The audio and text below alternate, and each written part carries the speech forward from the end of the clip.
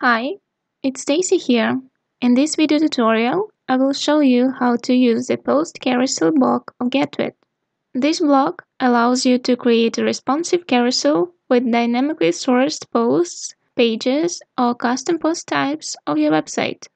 Moreover, you can build a custom layout for each carousel slide.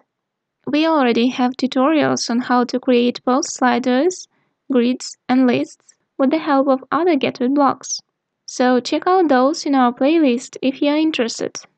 To be able to use the post carousel block, make sure that the latest version of GetWid is installed and activated in the Plugins tab. Then open a page where you want to add the post carousel and click on the plus icon. There you will find the tab GetWid block, click on Post Carousel, and it will appear on your page. If wide and full width layouts are available within your theme, you can immediately switch between them for this block in the top bar.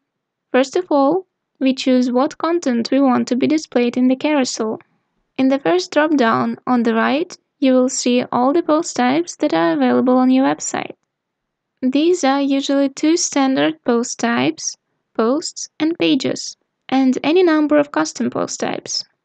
I have two of them accommodation types, and services, both added by the MotoPress Hotel Booking plugin. If you have WooCommerce installed, then you can even create product carousels.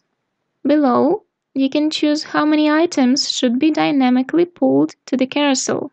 Use the second slider if you want to hide the first few items in the feed. In the sub-tab, you can choose from a wide range of sorting and filtering options to tailor which items exactly you want to display. For example, you may want to show only posts with a specific tag starting with the oldest. By default, items are displayed from the last to the first, but you can reverse it in the Order dropdown. The items can be ordered alphabetically by title, date, randomly, by author, last modification date, and menu order. You can usually change the menu order in the list of your posts. Hover over a post and click Quick Edit, then set its order number. If there are any posts that you always display at the top of your blog, you can skip them in the carousel by toggling the next button. You can also display only posts with specific IDs. Each post has a unique ID which you can find by hovering over a post. For example, Mine has ID 15. Specify their comma-separated IDs in the next field, and only these posts will show up in the carousel.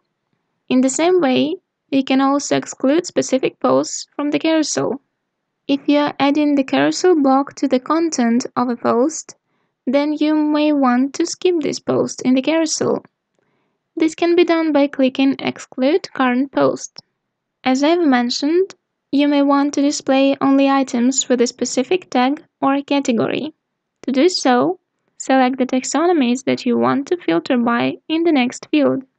GetWid will automatically pick up all the terms available in each taxonomy. Hold down Ctrl or Command to select multiple taxonomies and terms. If you have selected more than one term, you can choose to display only posts that have all the selected terms or at least one of them. In the design settings, we can adjust how each slide will look through templates. Click New to create a custom one. We have separate video on how to do it in our playlist. The default template is an image at the top, followed by title and excerpt. I will use a pre-made custom template. Below, we select how many slides we want to show at a time on different device sizes. Slides to scroll is how many slides are scrolled at a time when users navigate through the carousel.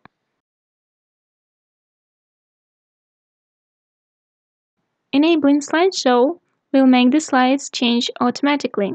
If enabled, we can choose how often the carousel will scroll. This number is in milliseconds.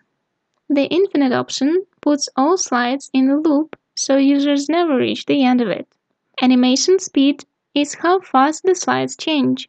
The center mode displays a preview of the previous and the next slides in the carousel. Spacing is the distance between each slide.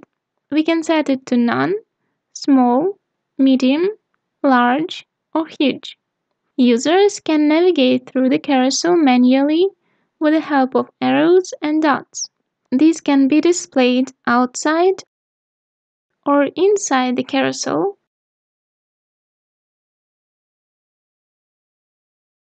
or be hidden at all. If you want to add more custom styles to this block, add your custom CSS class in the Advanced tab. That was it. Like the video if you liked it and let us know in the comments what you think about the block.